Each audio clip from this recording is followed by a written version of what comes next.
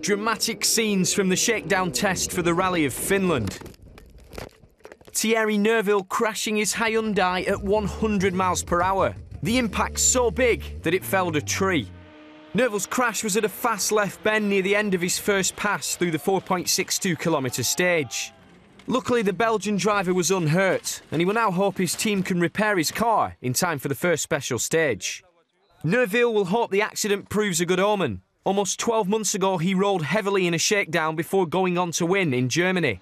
The fastest in this race was Mads Østberg in his Citroën DS3. He edged out Andreas Mikkelsen's Volkswagen Polo R.